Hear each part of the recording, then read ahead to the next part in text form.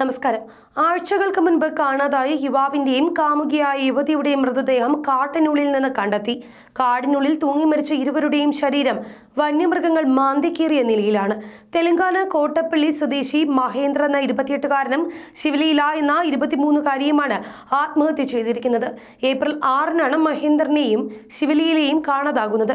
വിക്രബാദ് ആനന്ദഗിരിയിലെ കാട്ടിനുള്ളിലാണ് ഇരുവരും തൂങ്ങി മരിച്ചത്. കാലികളെ മേയ്ക്കാനായി വനത്തിലേക്ക് എത്തിയ ചിലരാണ് മൃതദേഹങ്ങൾ ആദ്യം കണ്ടെത്തിയത്.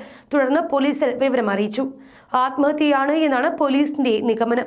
നേരത്തെ ഒരുമിച്ച് കെട്ടിട നിർമ്മാണ ജോലി ചെയ്തിരുന്ന ഇരുവരും അടുപ്പത്തിലായിരുന്നുവെന്നാണ് പോലീസ് പറയുന്നത്. വിവാഹിതയായ ശിവലിയിലെയും ഭാര്യയും രണ്ട് കുട്ടികളുമുള്ള മഹേന്ദ്രും രണ്ടു വർഷം മുൻപ് ഒരു കെട്ടിട നിർമ്മാണ ജോലിക്കിടെയാണ് പരിചയപ്പെടുന്നത്. പിന്നീട് ഈ പരിചയം വളരുകയും അടുപ്പമാവുകയും ചെയ്തു. അതിനിടെയാണ് ഏപ്രിൽ ആറാം തീയതി ഇരുവരെയും കാണാതായത് മഹേന്ദ്രനെയും ശിവലിയിലെയും കാണാനില്ല എന്ന് കാണിച്ച് ഇരുവരുടെയും ബന്ധുക്കൾ പോലീസിൽ പരാതിയും നൽകിയിരുന്നു. തുടർന്ന് മൊബൈൽ ഫോൺ കേന്ദ്രീകരിച്ച് അന്വേഷണം നടന്നു. എന്നാൽ സിമ്മും ഫോണും നശിപ്പിച്ചതിനാൽ അന്വേഷണത്തിൽ യാതൊരു തരത്തിലുള്ള പുരോഗതിയും ഉണ്ടായില്ല.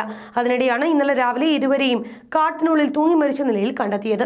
വന്യമൃഗങ്ങൾ മാന്തിക്കേറിയ നിലയിലാണ് മൃതദേഹങ്ങൾ കണ്ടെത്തിയത് എന്നാണ് പോലീസ് വ്യക്തമാക്കുന്നത്.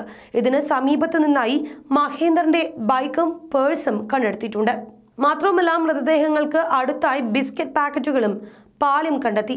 ഏപ്രിൽ ആറിന് തന്നെ ഇരുവരും ആത്മഹത്യ ചെയ്തിട്ടുണ്ടാകാമെന്നാണ് പോലീസിന്റെ പ്രാഥമിക നിഗമനം. സംഭവത്തെ വിശദമായ അന്വേഷണം തുടരുകയാണ് എന്നും പോലീസ് അറിയിച്ചിട്ടുണ്ട്. ഏപ്രിൽ ആറിനാണ് മഹേന്ദ്രനെയും ശിവലയിലെയും കാണാതാകുന്നത്.